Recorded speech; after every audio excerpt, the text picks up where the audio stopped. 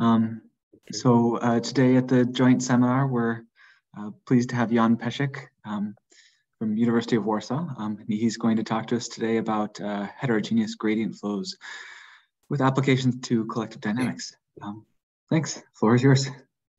Uh, thank you for the introduction. Thank you for giving me opportunity to present uh, some of my results, uh, which are a part of joint work with uh, David Poyato from University of Granada. I'm going to talk about heterogeneous gradient flows with applications to collective dynamics, but I'm not going to focus on the applications actually. I, there is part of applications that have to be mentioned because uh, they are sort, sort of the origin of the whole of the whole project. In a way, we started with a very specific problem from collective dynamics. And we were thinking that we can solve one of the, uh, solve this problem, which has been open for a couple of years now. And uh, while doing so, we ended up developing something that we, th we thought that is much more general. And in a way, it started to be truly the um, maybe the main uh, scope of our work. Um, okay, so the first part, let me briefly uh, recall some notions. So the first one is uh, just uh, continuity equation. But um, maybe one thing that we should remember is that the this concept of continuity equation is in the sense of, um, well, this is a measure valued uh, solution, right? So mu is a measure, I usually write it like this. So this is a family of probability measures, or otherwise we can understand it as a curve in the space of probability measures. And U is a vector field that is specific for uh, the solution mu. So usually it comes with some other uh, PDE, uh, such as, as we have usually in, uh, in fluid mechanics, for instance. But generally, let it look uh, as follows. And then what I refer to as heterogeneous continuity, continuity equation is presented here. Uh, so you will notice that, first of all, what changes that a parameter omega appeared. And this parameter throughout the talk will be uh, inside the space RD2. And X is in the space RD1. So D1 is the dimension of X, D2 dimension of omega. And here, X, so no, the divergence is taken with respect only to X, which sort of uh, can be understood that the motion actually is um, taking place only in the x variable and omega is is really a parameter which uh, controls sort of the species or um, or some other properties of uh, the ensemble. And this can be in some sense uh, rewritten as a set of continuity equations which are indexed with omega so uh, in some sense, this is an omega parameterized family of continuity equations. Uh, so parameters now are omega and t. And one very important issue that uh, we have to get out of the way at the very beginning is that is this bottom equation. um, so let me explain. So I wanted to draw a picture, but unfortunately I have a malfunction of my um, pen. So drawing with a mouse is not a good idea. So let me just explain here. The idea is that if you have, sir, say a container in which there is some um, ensembles of particles, of different kinds of particles. And for, instance, two kinds. One kind of particles is affected by certain forces. The other kind is affected by other forces. So if there was no interaction between the two species of particles, then we could decouple the continuity equations and then we would be on this in this situation here on the right hand side. So the u, the velocity u depends only on the mu omega for this fixed omega that we are interested in. But this is not what we are interested in. The um, this results makes sense. I mean, it is interesting only if we make sure that the velocity field for each fiber. So I will call this omega. So so this uh, mu omega as fiber of the entire bundle mu. So the behavior of each fiber depends on the whole uh, mu, which is essential. So physically, we can think about it as these two ensembles in one container, but they also collide with each other or somehow interact with each other. And we cannot uh, understand the motion of one without understanding the uh, behavior of the whole in a way. Okay, so this is not a decoupled problem, of course, otherwise it would be boring or done actually. Okay, so it was supposed to be a picture here drawn in real time, but not anymore. And let, let me jump to gradient, gradient flows and continuity equation. I mean, the relation between gradient flows and continuity equation. So let's begin very simple with classical notion of a gradient flow, wherein some position, say x, uh, changes in time according to such a uh, ordinary differential equations.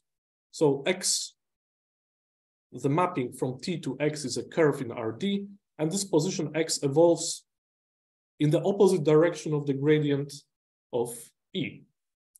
So in a sort of attempt to minimize uh, the energy.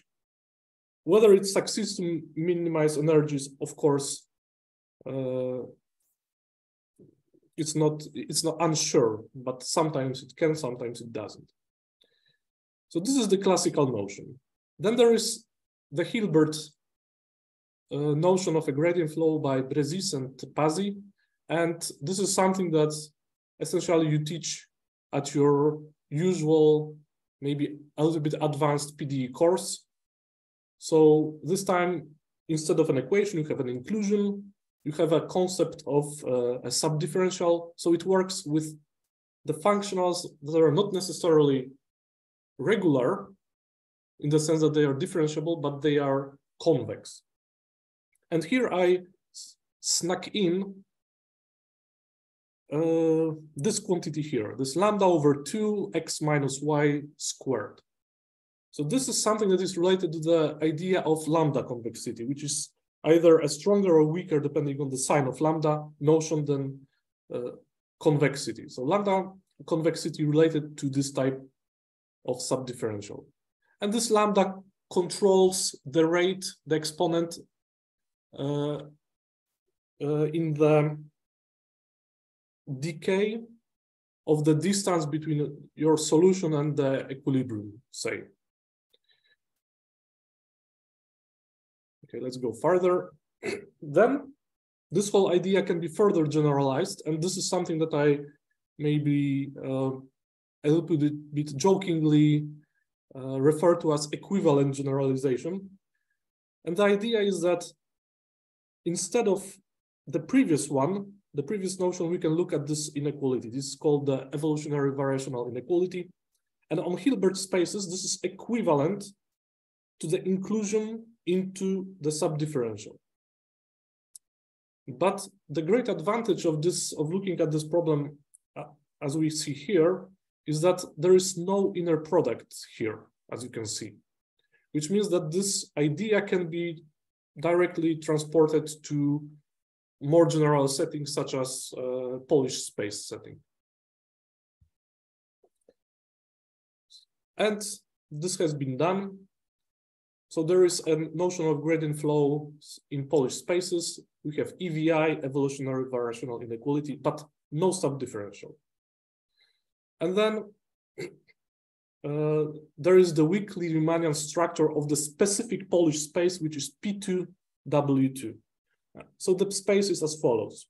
P2 is the space of probability measures with finite second moment. The distance is the Wasserstein distance W2. Let me recall it just in case.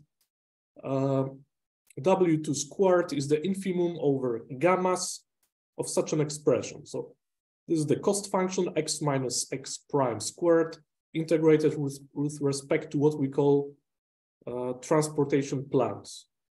So gammas are all probability measures with x marginal equal to mu and x prime marginal equal to mu. And it can be shown that uh, this problem actually admits a minimum, which we will call an optimal transportation plan.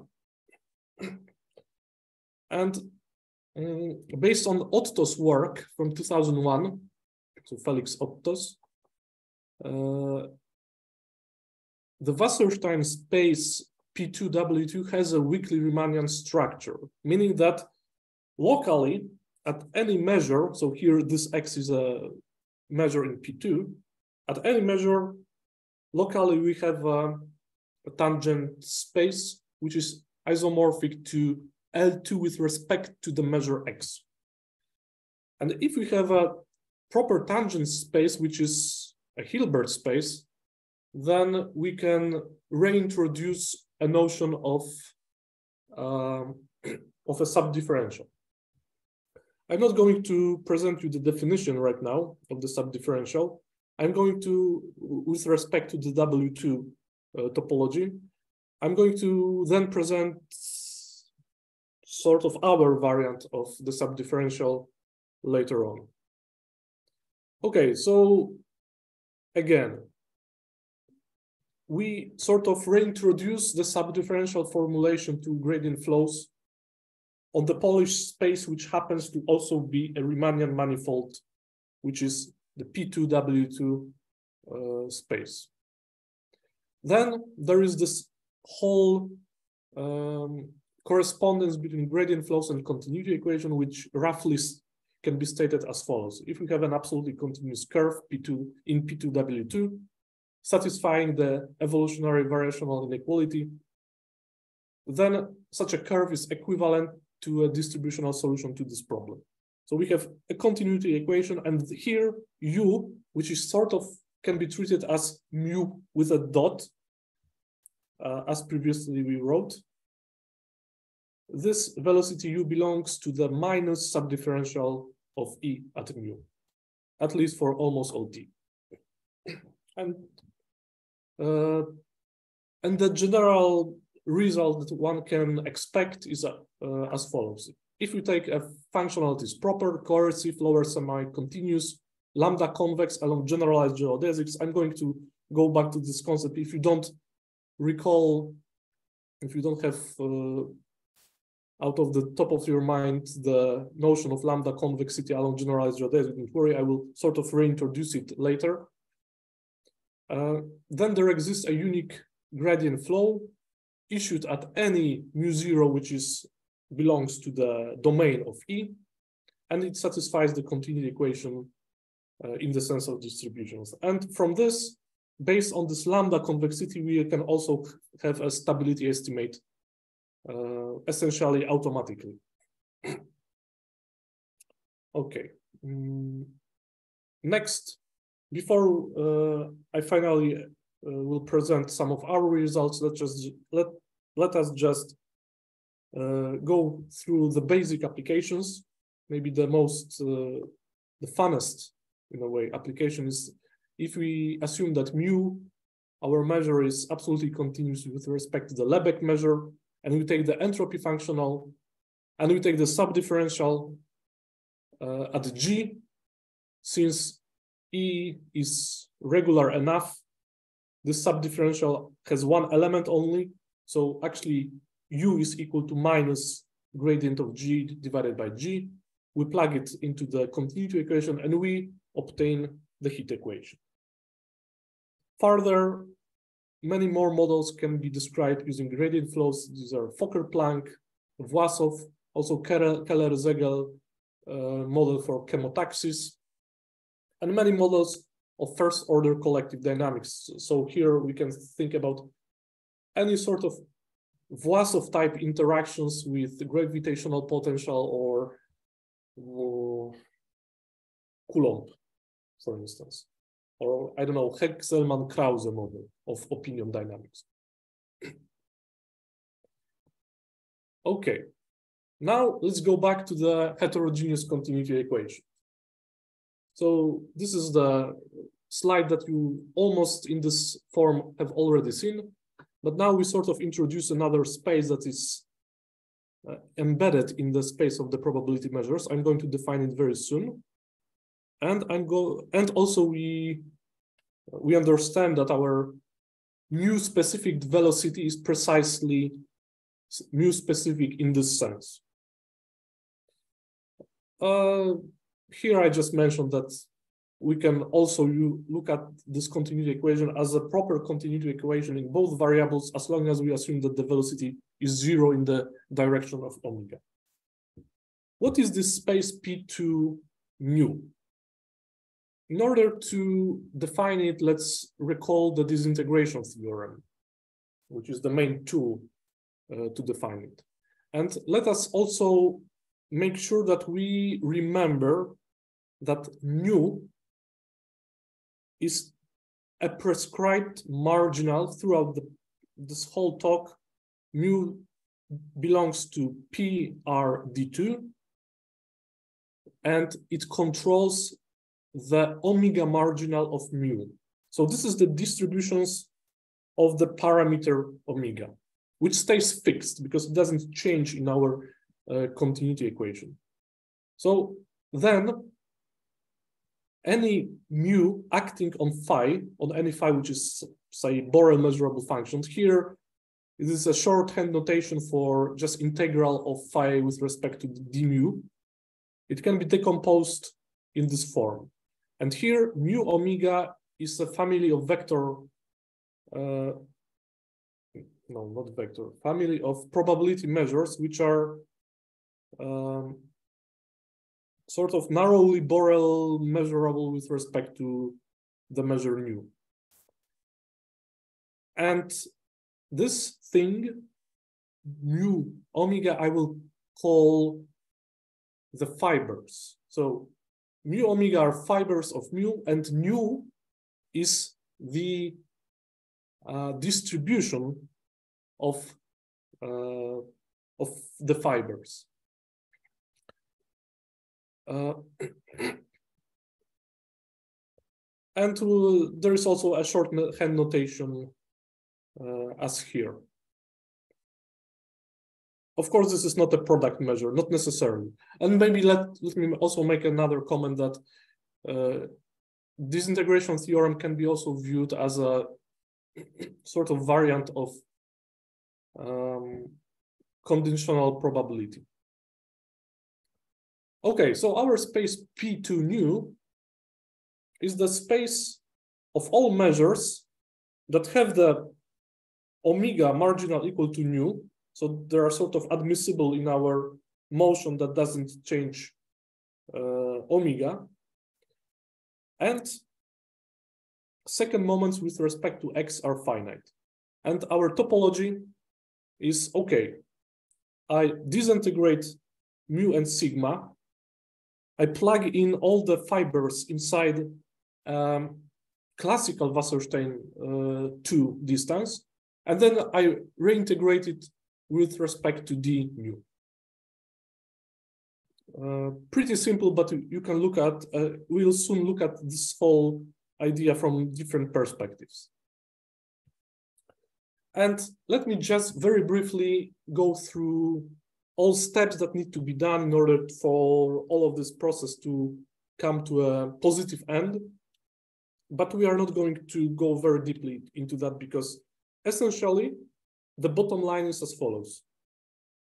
You take the book by Ambrosio Gigli and Savare, you use what you can and you generalize what you must and this is what you would expect to work Uh, but there are some problems, which I will describe later. So first, we prove that the fibered Wasserstein space is a Polish space, and then we sort of can use the general theory to get the gradient flow in the sense of EVI. Second, we prove that it's actually a Riemannian manifold, so we can use Otto's approach. We can develop a fibered subdifferential calculus and uh, finally prove equivalence between absolutely continuous curves satisfying the EVI and uh, with our heterogeneous continuity equation. And the sort of end result is pretty much what we would expect. Everything that should work works. And uh, so there are some assumptions on, on E that I'm not going to disclose here that are sort of maybe more delicate in the sense that how E is related to omega, but in principle, it works. Uh, so we take E that is proper coercive lower semi-continuous and lambda convex along fiber generalized geodesics. And we get the continuity equation. So there, there is a unique gradient flow which solves the continuity equation. And uh, maybe for reference, I will uh, let us have a short glance at uh, our notion of fibered Fréchet subdifferential. Um, essentially, for our fixed marginal mu, and any functional E. Uh, and any U that is in the tangent space to the uh, our fibered space. So the, L mu 2 is the tangent space at mu. Uh, what we, how we define it, when you look at this here, here, let's just say that gamma here belongs to gamma O nu, which is which are the optimal plans uh, for the fiber um, for the fibered uh, Wasserstein distance. It resembles the Hilbert uh, setting uh, quite a bit.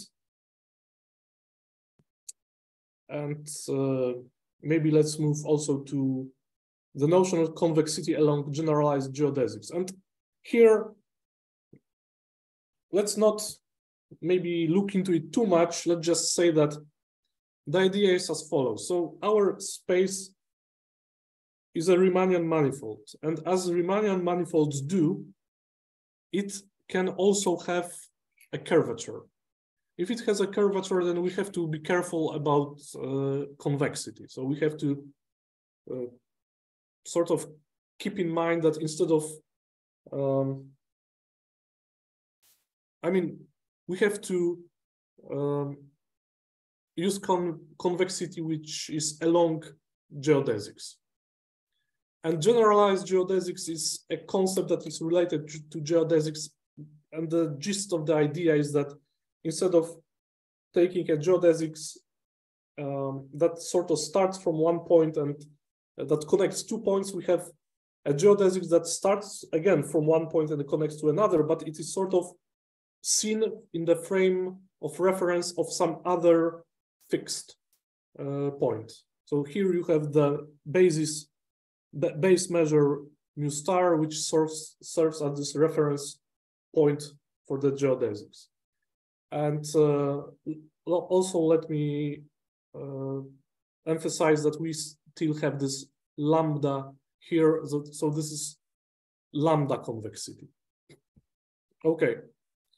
And the generic applications are what you, you would expect. So everything that we said about applications for the classical gradient flows, it uh, sort of works as adding uh, multi-species, multiple species to, to those problems. So we have Fokker-Planck, with uh, various particles responding differently to the drag force and the random motion.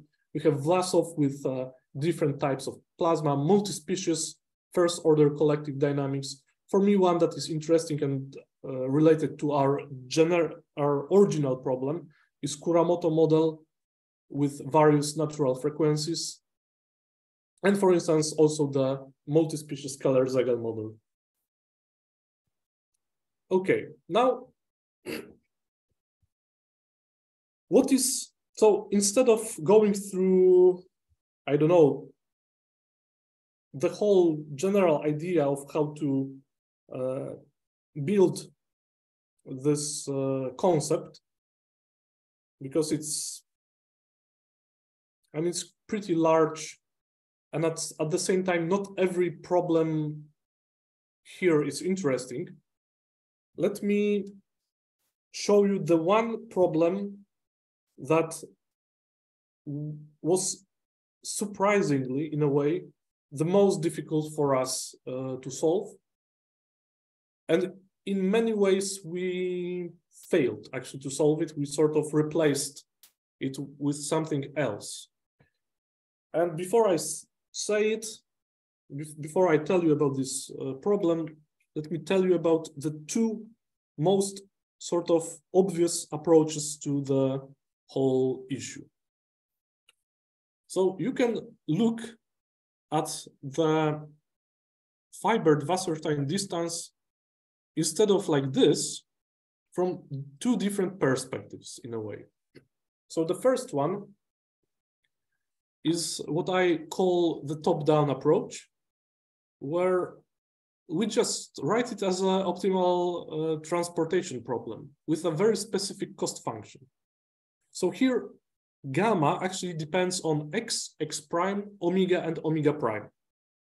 And we as when we and we use the following test function. So this is x minus x prime squared, which is sort of responsible for having here this classical Wasserstein distance. But we also add plus infinity whenever omega is not equal to omega prime.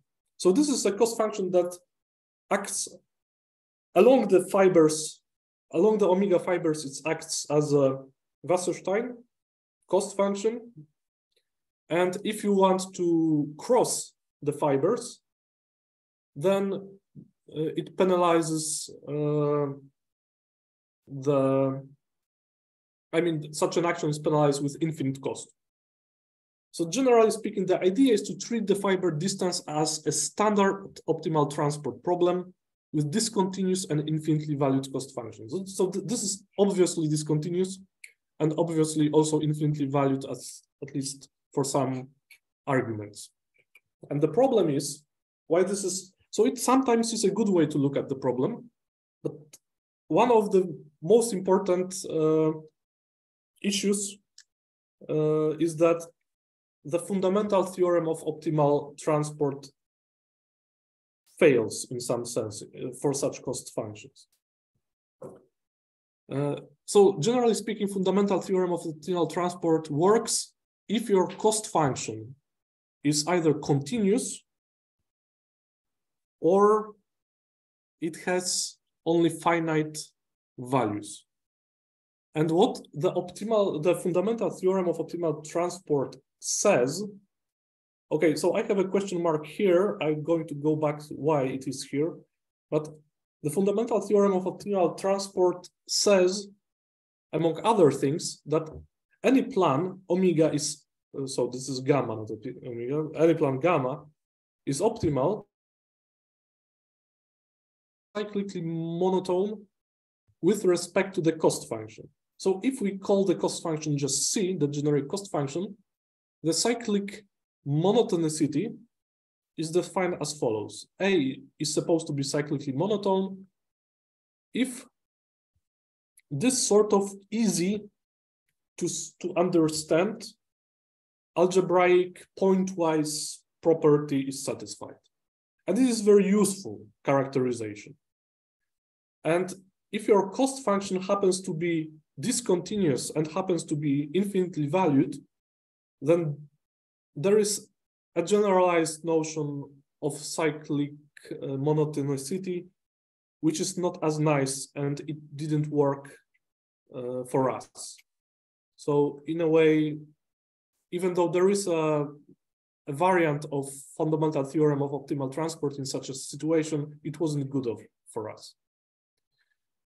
And the other approach is the bottom-up approach. So fiber optimal transport, we can prove it, and we, we actually prove it, that they can be decomposed or disintegrated as follows. So if gamma is, a, is supposed to be an optimal plan, uh, transportation plan for the fiber transportation, then it is always on, of such a form where the x and x prime marginal, or maybe not the marginal, but the, the fiber bundle is uh, then disintegrated with respect to the marginal here, which says the following. Well, of course, it has to be nu for omega, but for omega prime is we just take the Dirac delta, which means that we force omega prime to be omega always. And gamma omegas are optimal in the classical WT distance. So the fiber optimal plan is sort of what we would expect uh, to be. And this is a very good idea in most situations. So the idea is to construct everything fiber by fiber using gamma omega and then reintegrating them sort of by inverting the disintegration theorem. And there are two problems with this approach. Uh, one, the easier one, I actually wrote here, and the, the more difficult is something that I remembered later. So the easier one is that reversing the disintegration theorem requires you to ensure the nu measurability of the function omega, which maps omega into gamma omega as a function from RD2 into uh, measures, uh, uh, th this should be 2D1 because we have X and X prime with uh, weak topology. And let me recall the disintegration theorem. The point is that if in order to define mu as a functional on phi, say for phi, which is say bounded continuous function, we have to make sure that this is an integrable, uh, this as a function of omega is integrable with respect to nu. So at least we need measurability. So this is something that we usually solve using some uh, measurable selection theorem, such as um, there is this Kuratowski-Ryll-Nardzewski theorem. Uh, this is one we use. And, um, oh, sorry, it should be here. But there is also another problem. And the other problem is that you cannot fully recover the dynamics from fiber-wise dynamics because as we mentioned at the very beginning, the velocity depends on the whole bundle. Uh, meaning that it is not usually not sufficient to do everything. Uh, some parts can be done by gluing fibers, but we have to sort, sort of understand that it, uh, it doesn't work uh, all the time. And now the problem, very easy problem, very classically easy problem, where both of these approaches seemingly fail. By seemingly, I mean, we couldn't do it using uh, any of these approaches. And this is stability of optimality. So if mu n converges to mu, sigma n converges to sigma narrowly, meaning that tested by bounded continuous functions, gamma n is an optimal plan between mu n and sigma n, then up to a subsequence, gamma n is supposed to converge narrowly, and any of the limits of gamma n should be an optimal plan between mu and sigma something that sounds quite uh, intuitive. However, the standard proof, and I would say the only proof we could find actually uh, of the stability of optimality uses the fundamental theorem of optimal transport, which immediately throws the top-down approach out of the window because the fundamental, as I said, the fundamental theorem of optimal transport fails in this situation. Specifically, the uh, cyclical monotonicity fails. Okay, so maybe the bottom-up approach is better. And it's not really.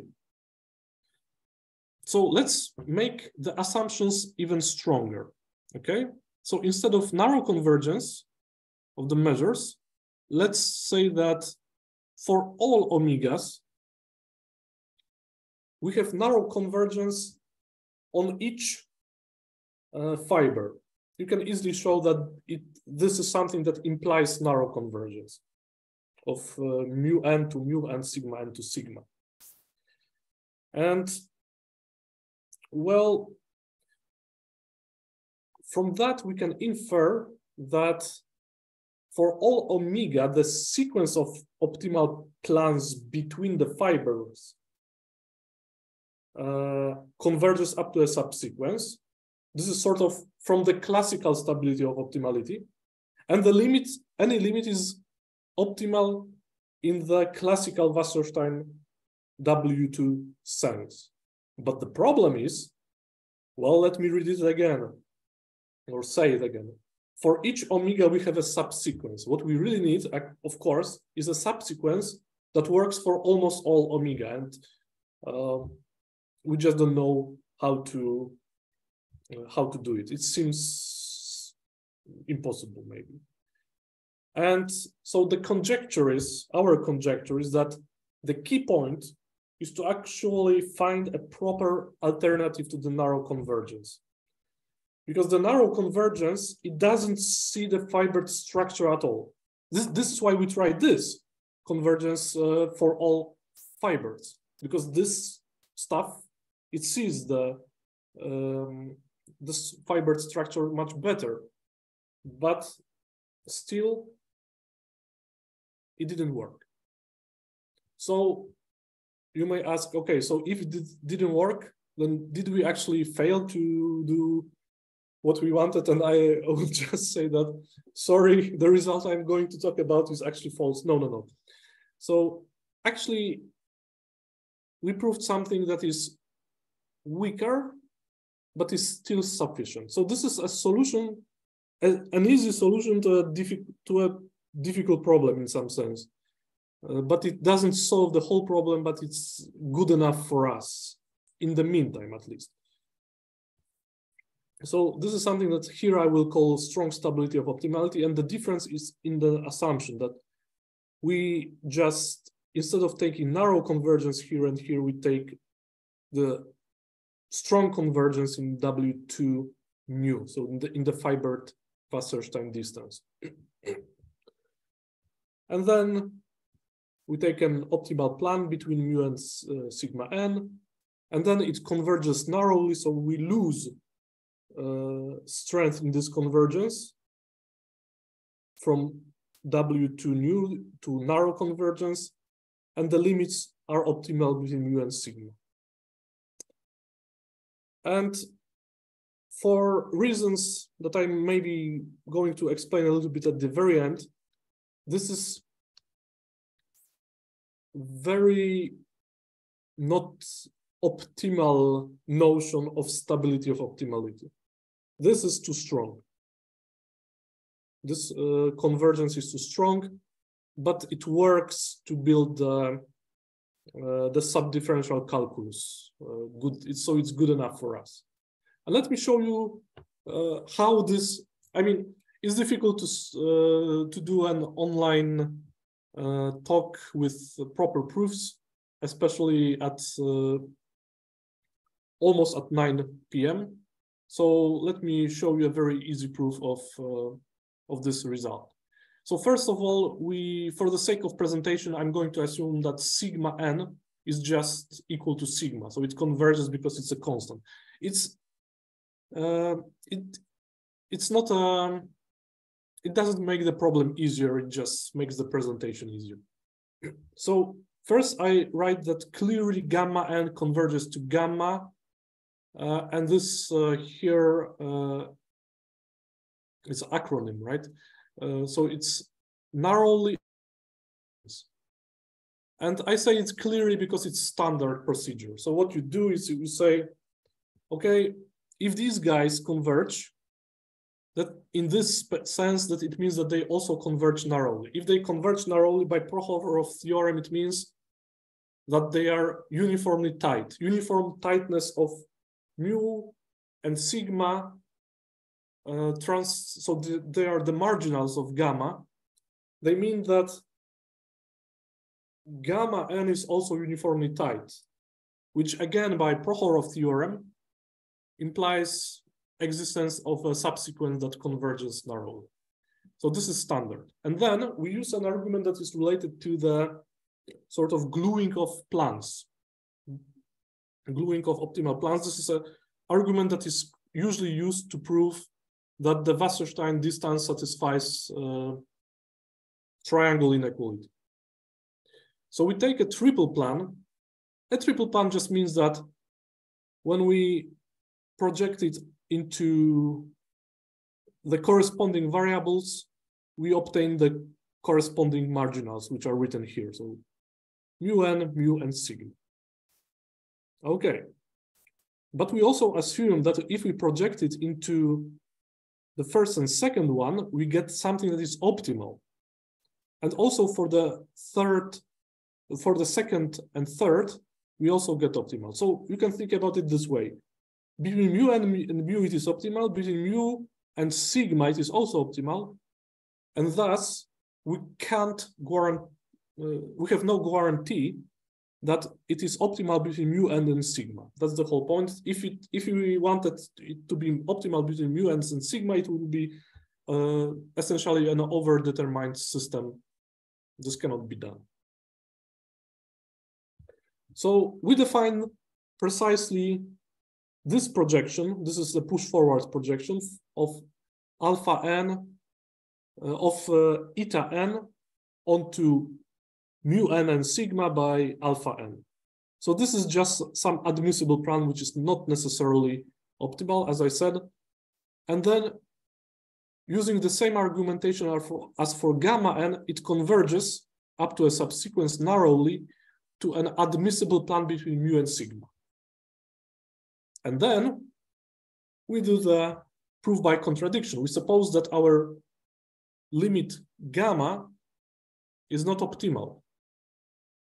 Okay, if it is not optimal, of course, this is uh, it is easy to show that it has to be an admissible plan between mu and sigma. Okay, okay, it is, if it is not optimal, then this has to be strictly smaller than this guy, right? Because this is um,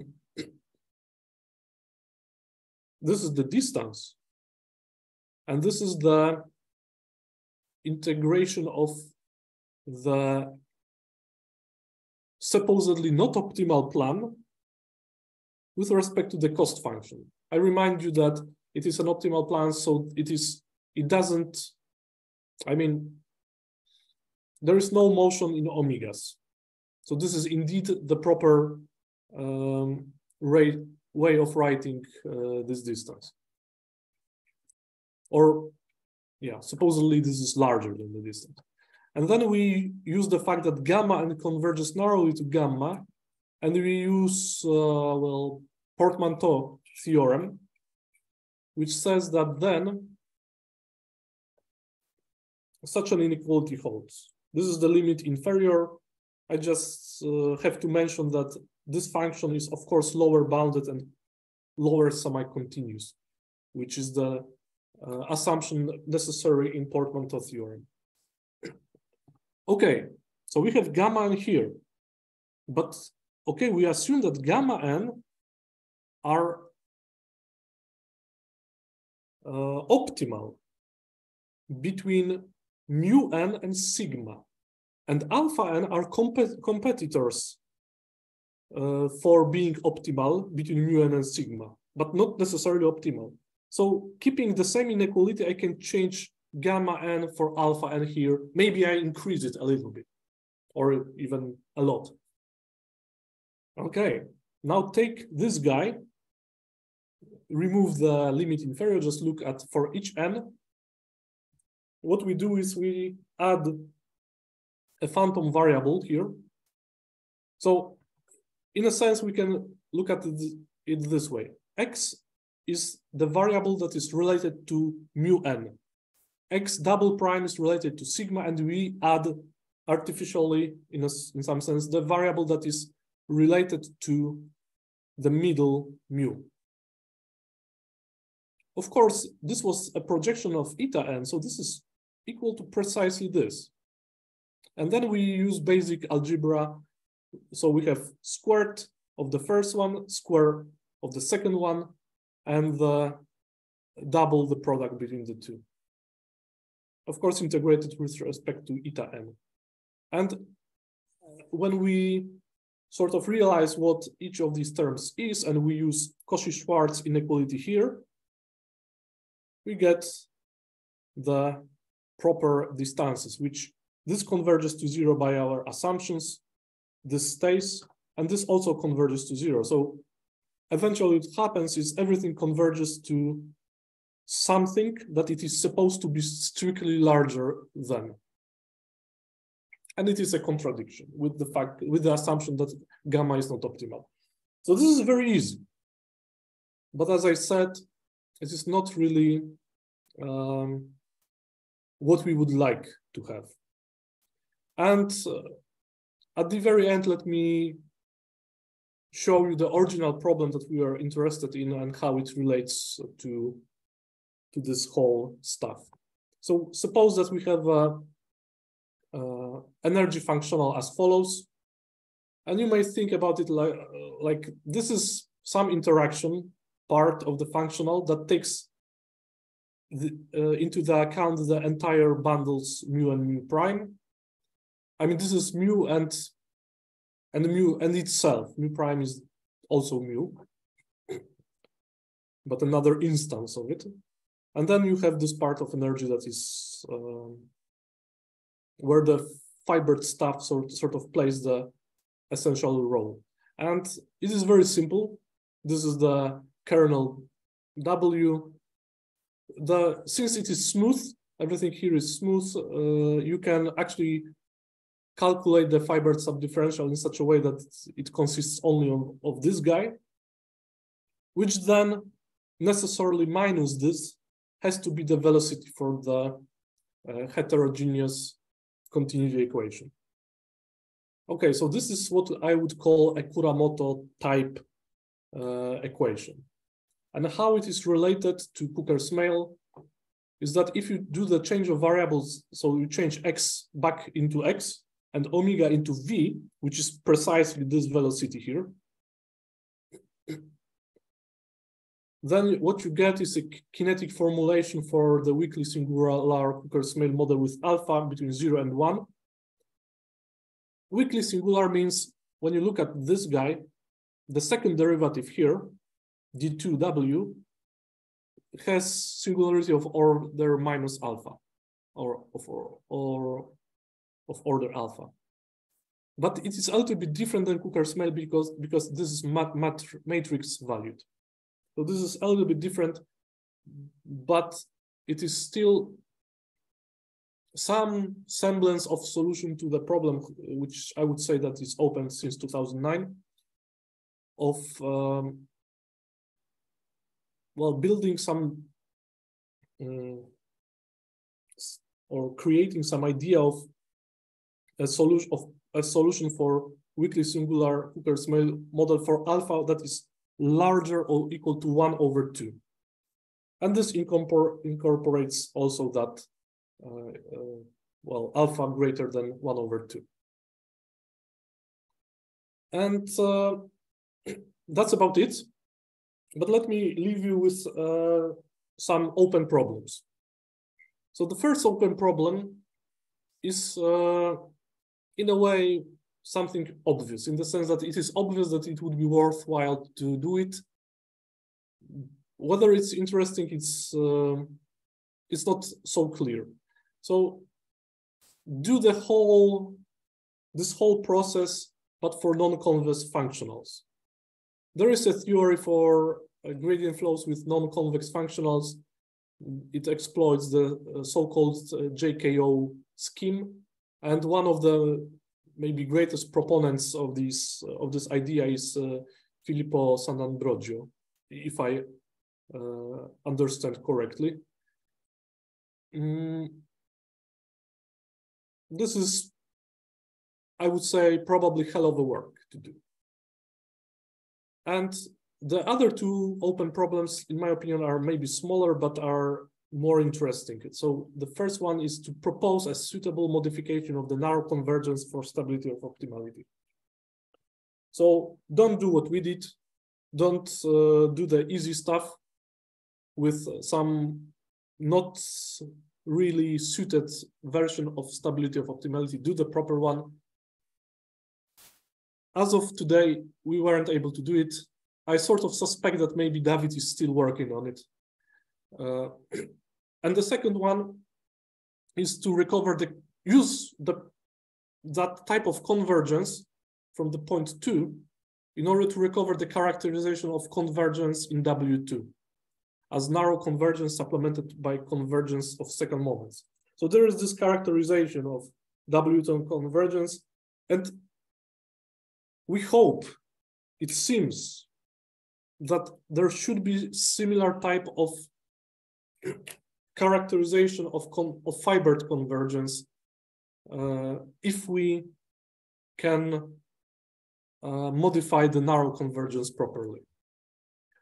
And here also the references to the two works that I talked about. The heterogeneous gradient flows are in the first one. and these things related to Kuramoto and Cucker-Smale model, uh, they are in the second paper. And uh, this is it. Uh, thank you for the attention. And uh, yeah, that's all.